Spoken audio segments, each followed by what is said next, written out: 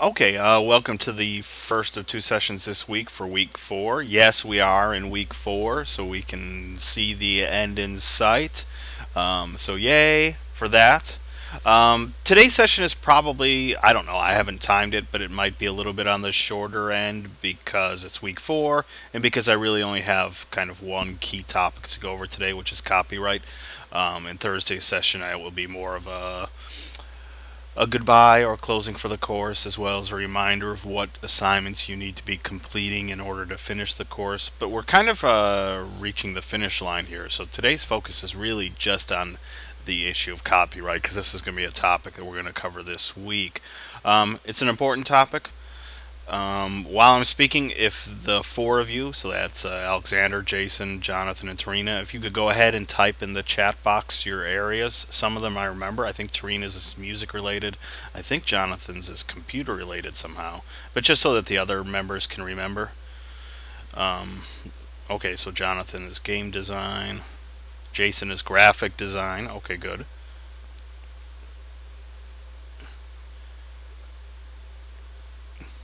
Alexander music production. Okay, Alexander. So today's stuff will be. I mean, it's going to be important for all of you because I think copyright affects all of your industries. Uh, but yeah, music is always is always a big one, and Tarina as well, music production. Okay, so there's proof, right? I mean, all four industries you just listed um, fall pretty seriously under copyright laws. Um, for Jason, graphic design can sometimes touch on that, and can sometimes, if it's for the business side of things, apply more to like trademark issues. Uh, but all four of those areas are, are massively covered by copyright. Music, perhaps, getting the most attention for this because it's a battle that continues to be ongoing, and we'll we'll, we'll talk about that uh, a little bit a little bit later. So, since all of you are here at Full Sail University, pursuing these degrees that are leading to the entertainment industry, and I use entertainment industry in the broadest terms possible. So we might not think of the video game industry as strictly being the the entertainment industry, but it is, right? I mean, it's creative, it's artistic, um, it's aimed at providing hours of leisure and relaxation and a whole lot of fun. Um, graphic design, I tend to look at that as probably more of a I don't want to say more serious because the other fields are serious as well, but um, you, you might not think it automatically applies to the entertainment business, but it can. Um, but it's it's certainly also a, a, creative field that that draws upon artistic ability. So because all of you are in these fields that are creative, and many of you are heading directly toward careers in the entertainment industry, the issue of copyright is like super important. Um, and that's why we cover it in this class. This is why you'll get a more in-depth examination probably later in your, your degree fields. The music production people, certainly. I would like to think that graphic design has to be has to touch on this later as well. Um, I don't know how big of an issue in game design copyright is. I don't. I mean, I don't know. I'm sure it exists, but I'm not sure if it's like a hot topic the way it is in, in other fields like like music or, or, or in graphic design where you can't just grab stuff that isn't yours and, and, and, and pass it off as, as your company's logo. Um, but probably a lot of you will get some more in-depth information later in your programs, but we'll cover the, the kind of basics here. It's something we like to stress. Um, it's something we stress again in month four. If you see me again as your English instructor, um, it's kind of a big deal. We, we try to teach students to respect copyright. Okay, so here's what we're going to go over in this session. Uh, first, just an examination of copyright, what it is. Uh, then we'll get into, into issues of fair use, because fair use is a term that we hear all the time, and we see it a lot, but not everybody truly knows what it means. Uh, I don't mean to generalize, but sometimes I see students who think that fair use just means, oh, there's eight seconds or you know five seconds from that Rihanna song. I'm going to use it because I'm not using the whole song. That's fair use. Uh, no, probably not. Um, fair use has very very specific guidelines, so I, will talk about that, and then we'll get into some of the other stuff terms you should just be aware of, like Creative Commons uh, royalty free, which isn't free, and public domain, which is free. So that will be some interesting stuff to go over, like what really is free out there and what isn't. Uh, then we'll wrap things up with any questions that people might have. And feel free to use the chat box or raise your hand if you have any questions. Uh, by the way, let me back up for just a second. and Say that. How did everybody's uh, project for last week go with the Hurricane Sandy um, and the examination of social media? I hope it wasn't too rough. There's a ton of information out there on on Hurricane Sandy. Did feel did people feel mostly uh, comfortable with that assignment? Jonathan says he's busy almost, busy almost didn't get to it on time. Yeah, that happens. I've been there. Uh, I've been there as a student. Sometimes waking up the morning something was due and rushing to get it done. Not saying that that's a good good uh, strategy, but these things happen. Yeah, Tarina, like all these assignments, I think there's a lot of things to juggle, but I don't think the assignments themselves are I mean, yeah, they do require effort. I'm not saying that they don't, but um, it can seem like a lot, especially if you mean that there's a lot of information to sort through online. Yeah, there's probably a ton that's written on, on Hurricane Sandy. Okay, so here's kind of our working definition of copyright. Uh, or actually, this is kind of more of a description of what you should do in order to get something copyrighted. Most people kind of know what copyrighting is. It's it's protection of material that you create. Um, and anything that you do create, if you want to have it copyrighted, it has to be proper, properly registered through the Copyright Office for a fee. I think that fee is something like, I don't know, I should have checked before I went online. There's always something I forget to check. But I think it's like $50 or something. Um, and if you pay that fee, it's officially copyrighted. Okay, and you can do that for anything. I mean, you know, I'm not sure why you would copyright maybe a horrible, god awful poem that you wrote and you know that it's awful. But if you really think it's that important to be protected, you can officially get it copyrighted. Uh, however, if you make changes to the work, uh, you know, which is an official, which is officially changed that original copyright, you'll have to copyright it again. And of course, anytime that we use copyrighted material without permission, that's called infringement.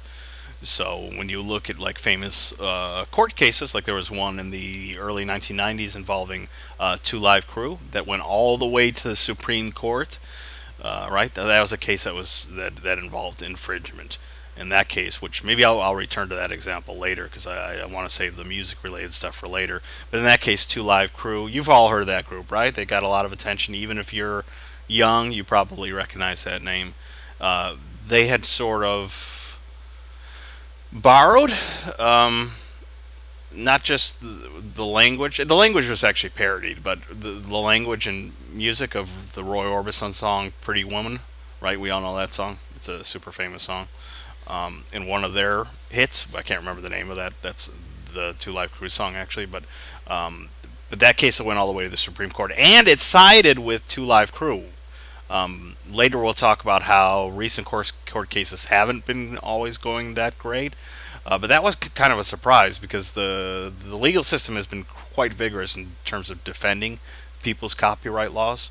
So, um, yeah, there was an example of a, a case involving infringement. Uh, oh, and just some real quick things. Uh, sometimes people have heard of these although maybe we're getting to the point where these are old-fashioned things that nobody remembers. But it used to be that there were a couple myths that sort of circulated out there. These were sort of the equivalent of, I don't know, urban legends or just bad advice that had been passed from person to person. One was this idea of an eight-second rule, meaning that if you just sampled something but it was limited to eight seconds, you were fine. Um, that's not true. As a matter of fact, uh, just recently, I, I, forget which case it was, but it was within the last couple of years. I mean, the court ruled in one case that even, for example, like three notes strung together can can constitute uh, infringement.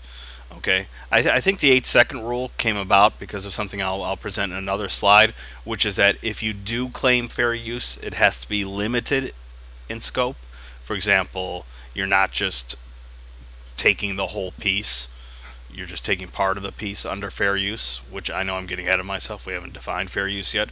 So I think there's this mistaken belief that, oh, if, as long as we're not sampling the whole thing, we're just taking a few seconds, that's fine. And that's, that's actually, completely not true. Um, and related to that is the urban legend or just bad advice of the, the poor man's copyright. This is less of an issue now because so few of us use snail mail to do things. But there used to be a common belief, and I actually had a professor who taught us this, and when, when I found out later that was completely wrong, I, I was angry.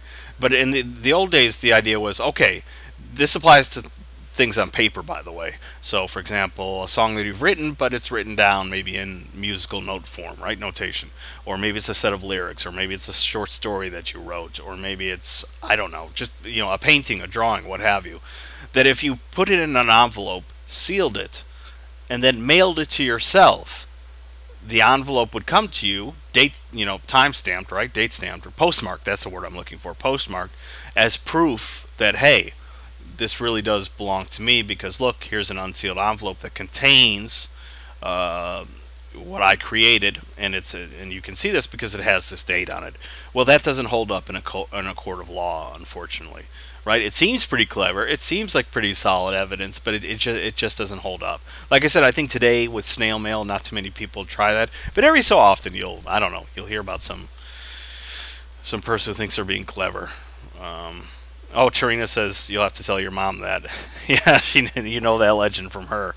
I don't know. I mean, maybe it has limited functionality in, in terms of trying to scare off someone who really does try to steal your song or steal your. You know, they might not know. They might not have the legal advice that's telling them, you know, that that won't hold up in court. Um, so maybe it has limited value in that sense. But yeah, you if you want your copyright to be ironclad in court, you need to you basically need to pay that 50 bucks and, and have it copyrighted.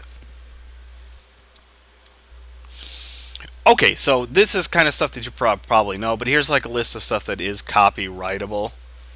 Uh, oh, Alexander provided the link.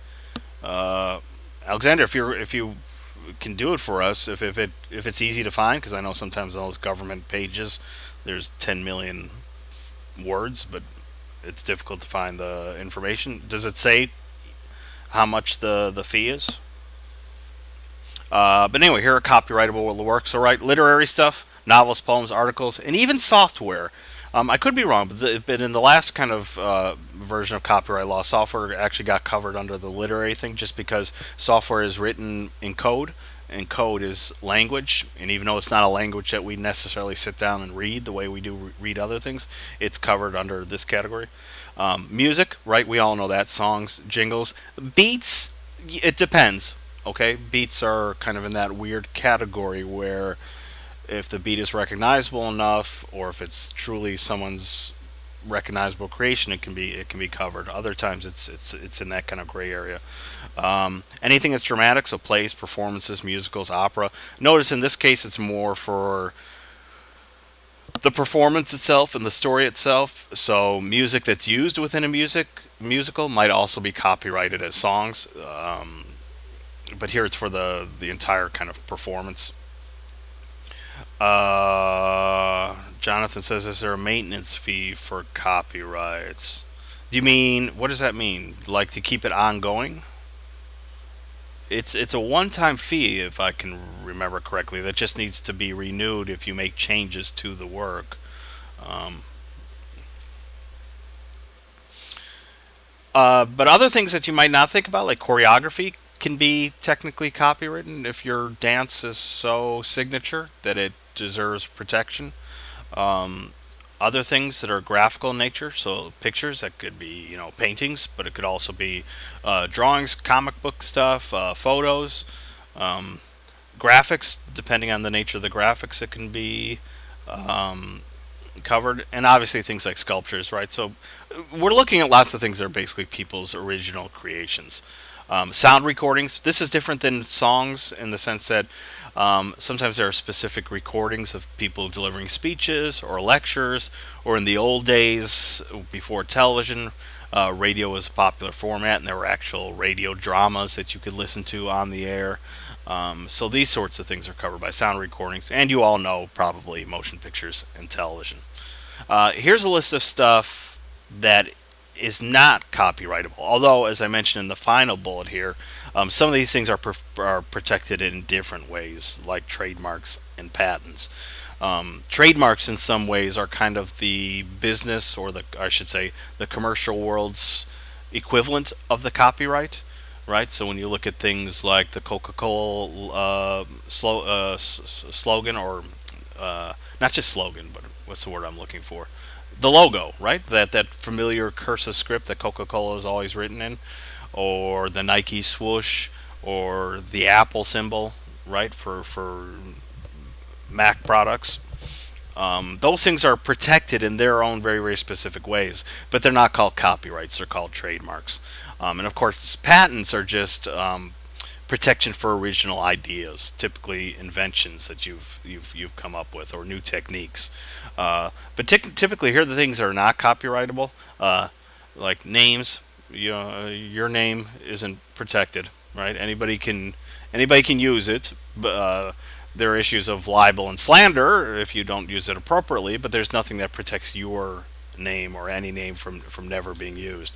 Uh, same thing for titles. You might not think so, but I bet if you think long and hard enough, and I'm, I'm embarrassed I didn't think of a good example before I came in today, but like haven't you noticed songs that have the same title but they're written by different people? They're not cover versions. It's just two people happen to write a song um, with the exact same title right? Like I'm sure there must be, I don't know, 10 million songs out there called "You're Mine" or or "Love," right? So uh, titles uh, are not copyrighted, even when the title is kind of original. Actually, this is this is a terrible example because it's not one you any of you could relate to. But uh, the Beatles had a famous record called "Let It Be," and then in the 1980s, this punk group came out with an album called "Let It Be." and it was intentional, right? Like, why not take one of the most famous records by the most famous, one of the most famous bands on the planet, and use it purposely to sort of point out that, you know, it's a sort of ironic reuse of the title, and they were allowed to do it, right? Nobody said, "Hey, the Beatles came up with Let It Be. You can't dare use that that title." So titles are not uh, copyrightable. Uh, short phrases uh, slogans. Again, some of this stuff can be covered under under trademark. So if it's very very specific slogan uh, associated with a, product, um, so a real famous, not famous, but it got some news attention maybe about a year ago was you know Chick Fil A, right? They have those commercials with "Eat More Chicken." The joke is supposed to be the cows uh, can't spell. I'm going to type in the chat room, right? Eat more chicken right? The joke is the cows want people to eat more chicken sandwiches instead of hamburgers, so more cows can survive than chickens or something stupid like that. And so the cows hold up these signs that say eat more chicken and the letters are reversed and the words are misspelled, right? Like that's very very specific slogan is trademarked. As a matter of fact, it's it's so trademarked that Chick-fil-A went after some guy in I think it was Vermont or New Hampshire who was selling T-shirts that read "Eat more kale," you know the vegetable kale. Um, and they went after this guy for copyright for trademark infringement. Uh, the guy was selling T-shirts that "Eat more kale."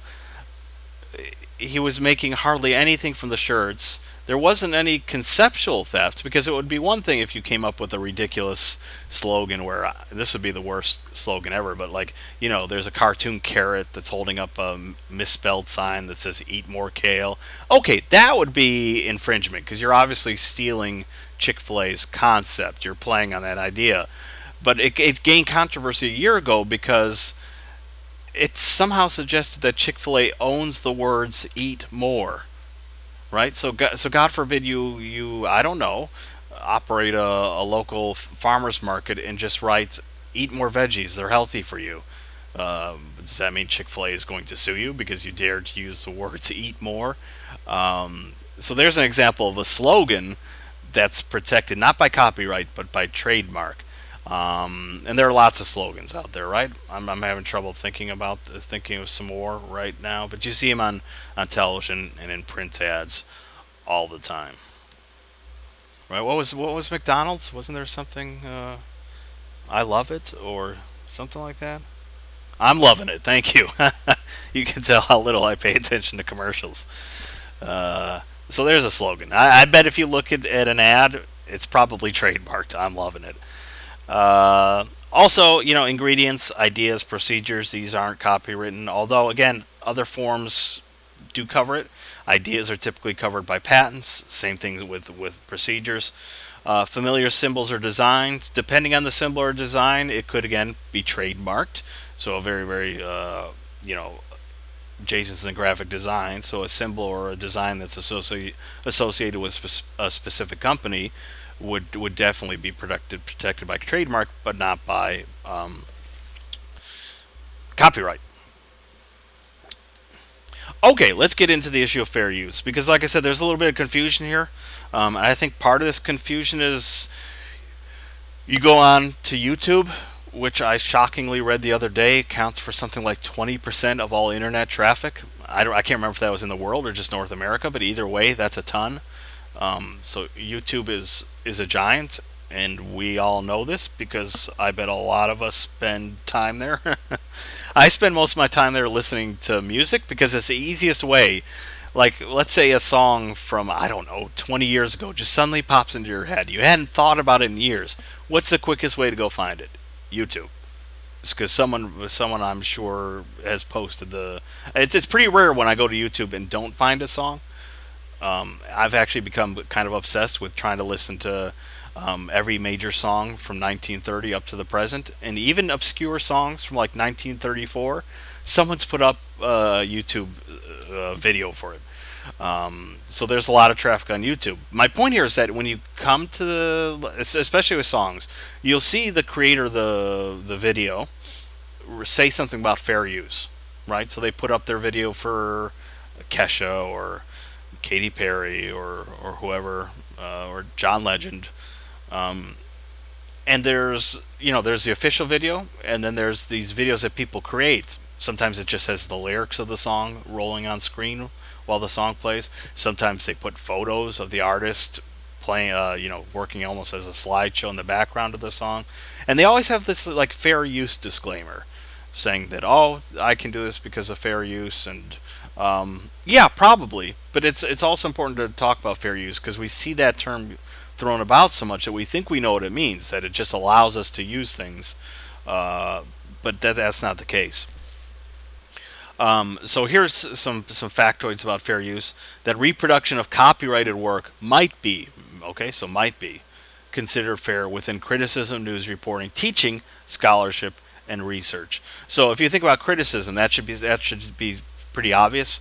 If you've ever gone online or even on television, seen like a, a movie review, or a video game review, right?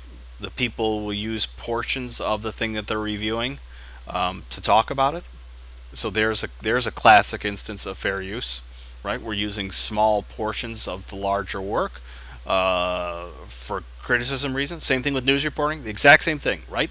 You see news stories where they might be using a photo that isn't theirs, or again, they might be showing a clip of a television show because such and such actress is in the is in the news recently. Um, again, they can do that because they're just using short clips in order to sort of um, embellish the the news story. Um, it's also common in teaching, scholarship, and research. So, in other words, academics. Um, as a teacher, I taught introduction to film at one of the previous universities I worked at. Um, and we showed the whole films, okay? So it wasn't even like parts of individual films, entire films. Why could we do that? Because there was an instructional reason behind it. We weren't trying to take money out of the hands of people um, looking to, to sell DVDs or, or, or something like that. It, it had an instructional value to it. Um, and and same thing for other things. So you know, if you're writing a paper, it's perfectly natural, for example, that you might quote something, and as long as you quote it and cite it properly, you're indicating that you're just using a portion of what you've what you've looked at, um, not the entire thing. Um, again, it, it allows for kind of limited use of of, of um, content um, for for reasons that are not profit seeking. That's the best way I can put it. Um, second point here fair use uh, is any copying of copyrighted material done for a limited and transformative purpose. So there's two things there, right? Limited and transformative. Limited is just what I described, that in general we're not using the whole piece. Okay, we're just using a part of it. Now, some of you might already be thinking, well, you were just talking earlier about the current state of music, whether it's hip hop music or EDM music or techno music, um, right? Isn't that limited and transformative? Because after all, they're not using the whole piece of an old song, they're just using a snippet or a sample. And they're transforming it because sometimes they'll change a note or add a note or they'll change the pitch of the sample or they'll add effects to it right? So it seems like they're transforming it, and that's actually the, the very argument that's going on right now in music, is courts have to figure out um, to what degree that use is really truly limited and transformative. Um, Jonathan says, I'm starting to see how determining gameplay commentaries on YouTube to be non-copyrightable can get very confusing. Yeah, to switch gears real quickly to gaming, I, I think you know there's there's another aspect here too, which is that the copyright holder has to be aware of what you're doing if you're using their work, and has to care. So, I use the example of all these people who create, you know, they they put the, the uh, what's the John Legend song that's like the biggest song of the year? All of is it all of all of you or all of me? I forget the name of that song, but it's like the biggest song of the year, right? It's this kind of ballad and people will create videos. Uh, you know, they'll take person, you know, they'll share their personal photos of their boyfriend or girlfriend set to the John Legend song, and oh, it's so sweet. Like technically, that's probably not fair use because you're not just presenting the song with the lyrics on screen. You're actually taking something you created, your personal photos, and combining it with something that John Legend did. The point is, John Legend's not going to come after you because he could he could probably care less. I mean, because there's not really an impact on the marketplace by you creating that video, right? You're not taking money out of John Legend's pocket. You're not charging anything for that slideshow of your you know Valentine's Day weekend with your with your sweetie set to John Legend music. Okay, I mean I guess technically maybe his lawyers could go after you, but what's what's the point? And so when Jonathan makes the comments about gameplay commentaries, that same a similar thing kind of happens, where if you're creating a video game review and posting it to YouTube.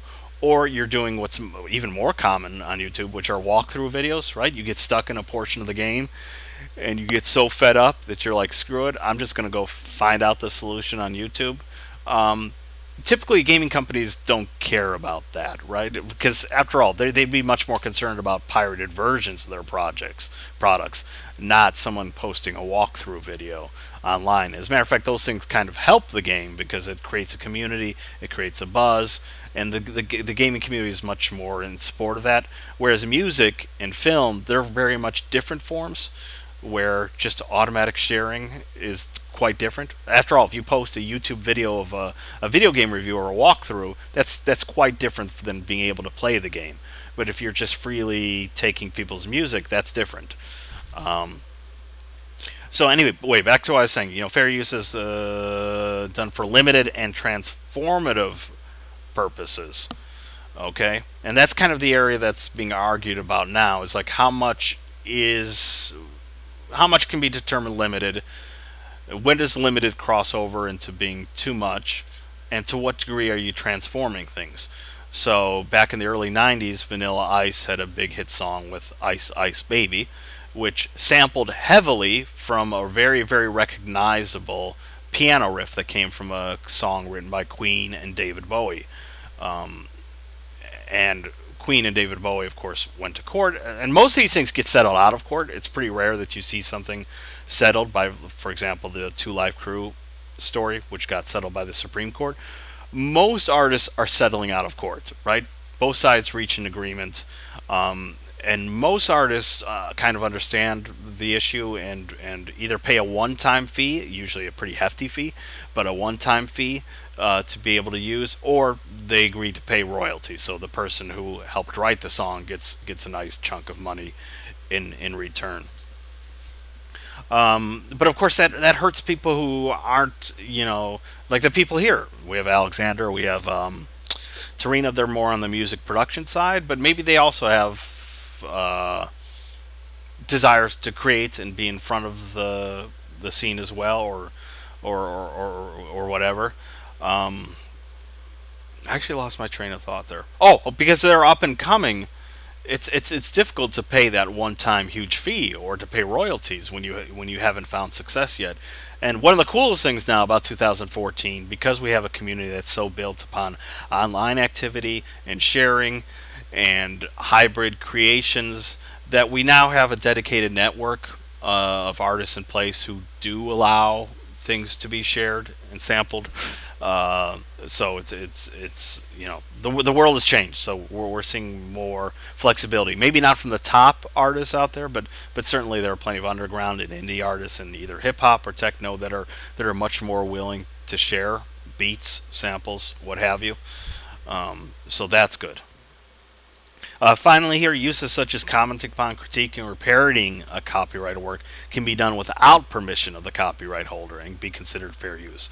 Okay, so this repeats some of the points. We understand that if you're just commenting on something or critiquing something, that's fair use. Parody also falls under protection. That's why all those those movies, those like scary movie things that come out, every year, or all the variations on it. Like there was one that made fun of 300. There's another one that made fun of I forget what. Right? They can get away with that because um, it's parody. It's clearly referencing something else that's famous in the culture, but it's not directly taking original stuff from it. It's just kind of paying homage, usually in a comical sense, to that original work.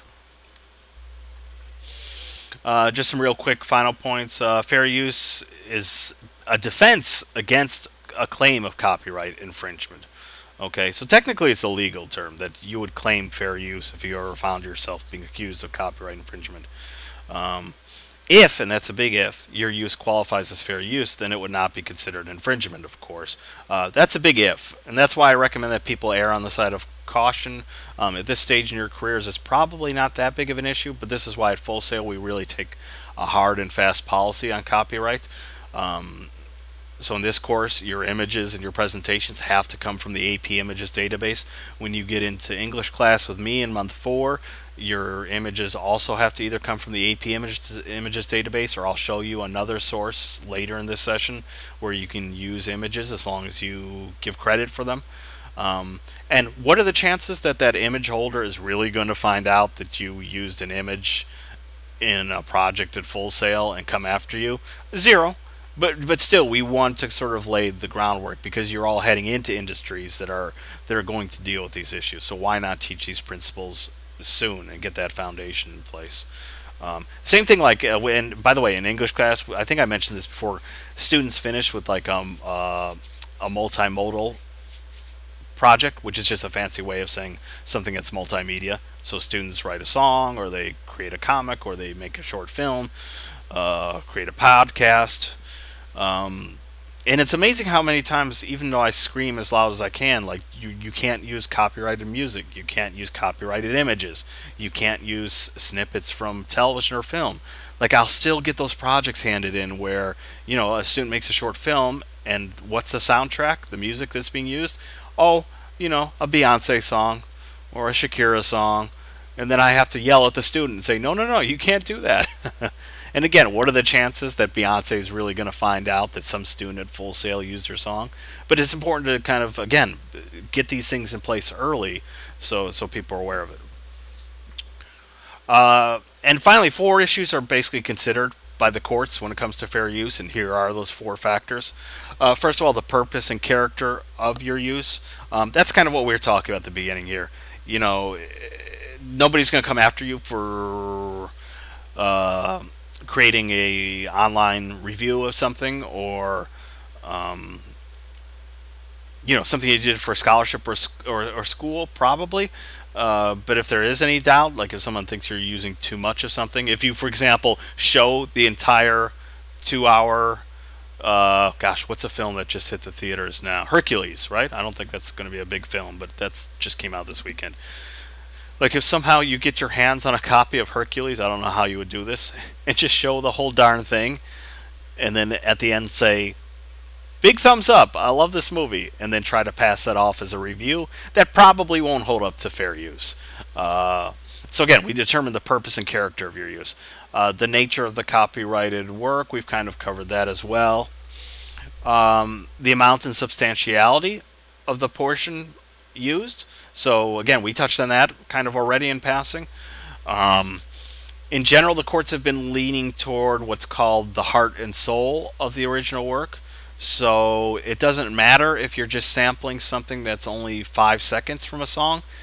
If that five second sample is so recognizable that you know, right, that, that it kind of forms the heart and soul of the song. I gave the example of Vanilla Ice's Ice Ice Baby. I mean, that sampled a very, very short pattern, but was absolutely associated with the previous hit song.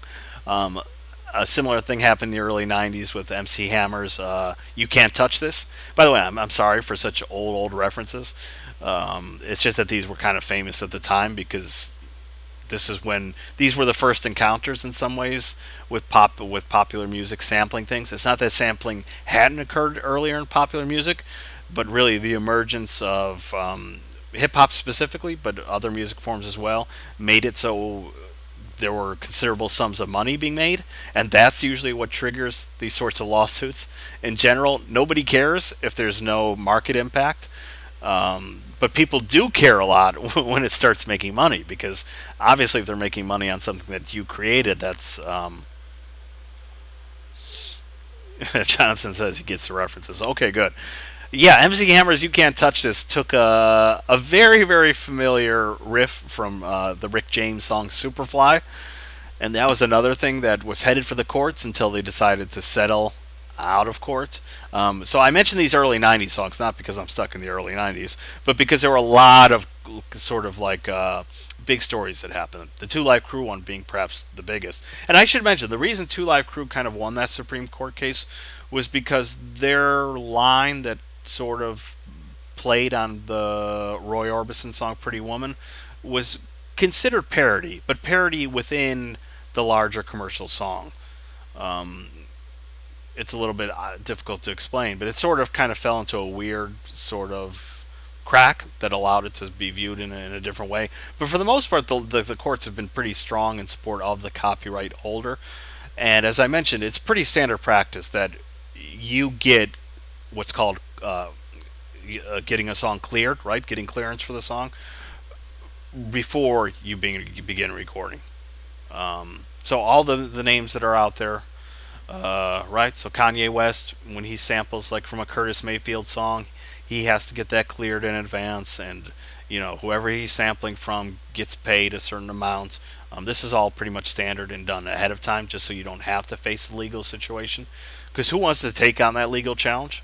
Because even if you win, you might lose with the amount of money that you'll have to pour into a lawsuit.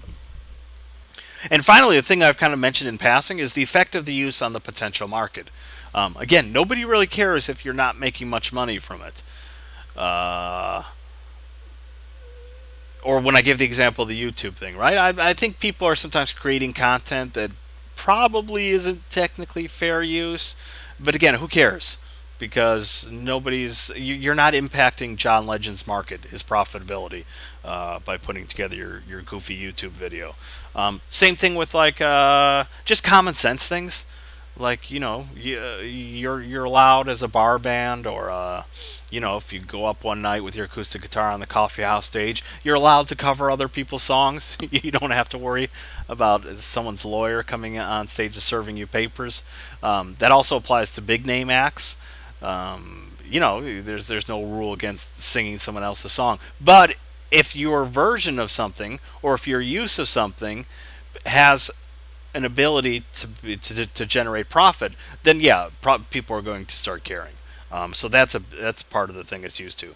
Um, how can affect affect a potential market? Now we're going to shift gears and talk about some other things that are kind of related to copyright. These are actually things that you should draw upon to avoid copyright trouble. The first is what's called Creative Commons. Creative Commons is an actual name of an organization. It's a nonprofit devoted um, let me move my panel so I can read it, to expanding the range of creative works available to others to build upon legally and to share. Um, and that Creative Commons was invented to create a more flexible model, um, one that replaced all rights reserved with some rights reserved. And I also touched on this kind of tangentially before, which is that we live in a world now of so much sharing, right? There's always a share button somewhere on whatever story you read or whatever file you come across. We're just a sharing culture. Um, because we live in that kind of culture where we're constantly not only sharing things but working with others, often across long distances, it seems kind of ridiculous that we don't have a system in place that's a bit more flexible, um, that allows us to take advantage of things that can make our web pages, our Facebook posts, our documents, our schoolwork, what have you, look a bit more snazzy without getting nailed for copyright infringement or, again, probably you won't literally have a lawyer come after you as a student for copyright infringement, but you know, God forbid you fail the class for plagiarizing, right? There has to be a more sensible middle ground that allows people to take advantage of a variety of tools, but do so legally, and that's what Creative Commons uh, seeks to do, right? I'm going to switch gears and go to the Creative Commons website real quickly. Okay, so it's just creativecommons.org. Let me see if I can make this bigger. Okay, so if we go up to the top and click on licenses, you can see all the different types of licenses that are available that you can apply for. Um, and they range from the least strict, starting up here, to the most strict, which is down here. So if we just look at the least strict, let me see if I can make this bigger. That's as big as it will allow me. Okay, so the the the the broadest or most permissive is just attribution. This license lets others distribute, remix, tweak, and build upon your work, even commercially, as long as they credit you for the original creation. Um, and then it goes on to say what I just mentioned that this is the most accommodating of license offered. So this is the one that allows you to do anything. So let's say it's an image. You can do whatever you want with it. You can send it to others. You can change elements. So you can drag it into Photoshop and do whatever you want to it. Um, you can use it within your own work, your own project to make it richer. And you can do so for money, right? You can then turn that, use that uh, to, for for a commercial uh, venture and, and make money from it. Okay, so there's no, no limitations, except that you do have to give credit to the original creation. Um, if we switch to the most strict, you'll see that it has very, very firm rules in place. Uh, this license is the most restrictive, only allowing others to download and share them with others. Okay? So this one allows you to download and send it to other people, but you can't do anything else with it. Um, and you can't change them anyway or use them to make any sort of money. And the rest of the codes, if you're ever interested, you can kind of read on your own because the rest of the categories fall just somewhere in between. Uh, but that's interesting. And let me give a real life example of what I'm talking about. Oh, there's a red panda. Isn't that cute? Uh, most of you guys have heard of Flickr, right? The photo sharing site. Flickr is cool, but actually what I like more is this Flickr tool called compfight.com. I'm going to go ahead and type that in the chat. Because uh, if you come to English class, you're probably going to hear it again. This is what we always recommend. Because this is a Flickr search tool. So let's say my, my presentation for today is actually just words. I frankly had a busy day, so I didn't have time to spruce it up with pictures. But you've known from my past presentations that I use pictures. Uh, let me see if I can find one of the ones I used in the last session. Let me just type in students. And of course now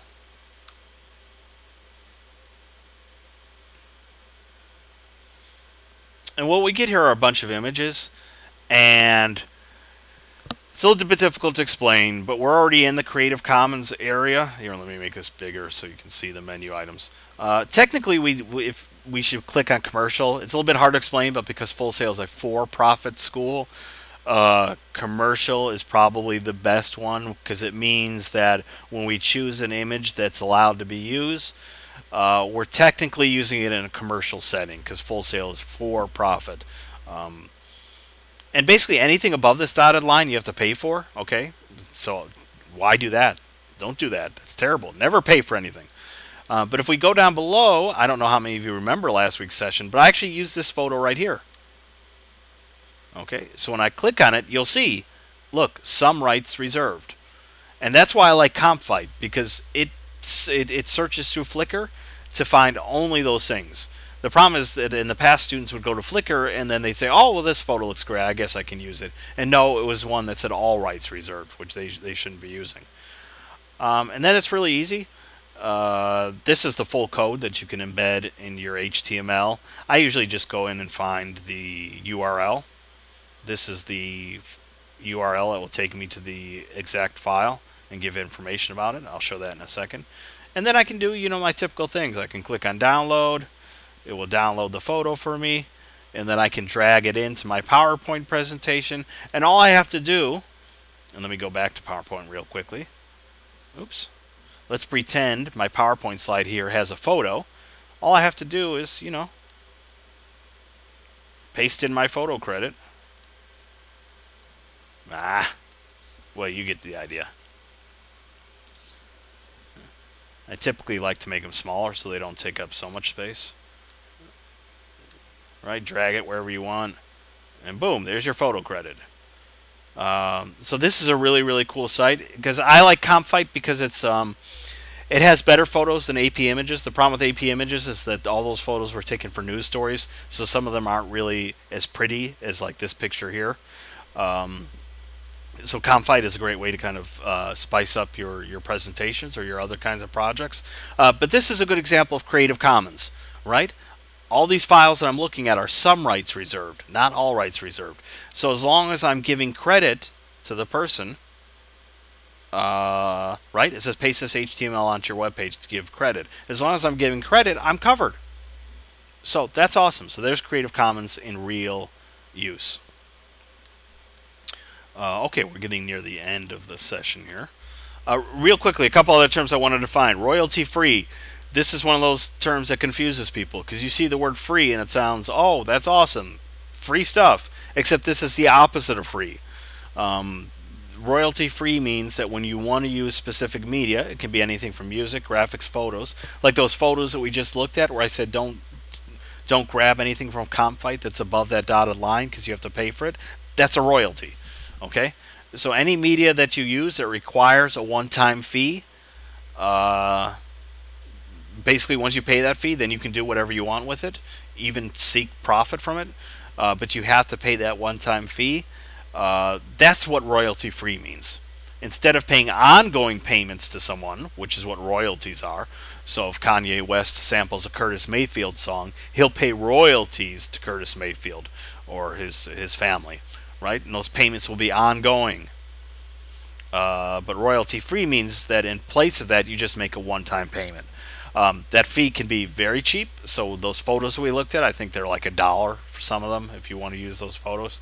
Um, on the other hand, if you're a major, major artist and the other party who holds the copyright has agreed to a royalty free use of the song, you're probably going to pay that person a huge chunk of money for that one time fee. Um, and second, that's subjected, uh, subjected to the associated guidelines. Uh, the user of the purchased material can use said materials many times as she wishes, okay? Including for for-profit projects. So once you pay that one-time fee, you can use that image or sound file as many times as you want. Again and again and again in different forms. You can make money from it. You can do whatever. So that's royalty-free.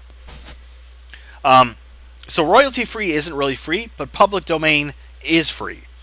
Okay? That basically when copyright protection ends, um, and is not renewed, the work enters the public domain. Um, so basically, like really old songs from like 1910 or the late 1800s, or novels, right? If you want to go read, I don't know. Uh, let me think of something. Oh, Nathaniel Hawthorne's The Scarlet Letter. It's free everywhere online. Like you can find it in 10 million forms. Forms you can download directly to your computer, forms that you can read online. Why? Because the copyright has expired and those those uh, those uh, works have entered the public domain. When our, this country is founded, the original copyright period was I think 28 days. In the 1950s, it doubled to 56. It later increased even more. Um, and now we've gotten into a really kind of ugly, kind of weird situation, mostly driven by Disney, because Mickey Mouse was due to expire uh, about a decade ago, I think, and they actually lobbied Congress to extend the duration for copyrights so that Mickey Mouse could survive until I think he's up to expire in oh gosh, was it is it 2018 or 2023? But anyway, it's coming up, right? And the the question will be, will Disney try to lobby Congress again? Um, it's not just it's not just Disney, the the Gershwin family. Um, I think there's another powerful entity. There's some people just don't want these copyrights to expire. Um, but in theory, they're supposed to end after a period of time. So basically, any media created before the 1920s is generally in the public domain. That might not be entirely useful useful for you, but it could be. I mean, if there's some really really old photo that you want to use in your, you know, your literature or your graphic design layout somehow, you can do so. I don't know why someone would sample a song from like 1915, but maybe you would. Um, you can do so. So be aware of that. I mean, probably most of you won't spend much time in public domain, but it's worth uh, checking out, especially if you're a musician. Like I play piano, so you can sometimes find like free sheet music because it's public domain. Anything by Mozart or Beethoven, or not even just classical, but jazz from the late uh, 19th century, it's all free. Like, cause nobody owns the copyright to that anymore. Um, so public domain is really cool if you want to check it out. Lots of free stuff. Okay, any questions? I'm starting to lose my voice.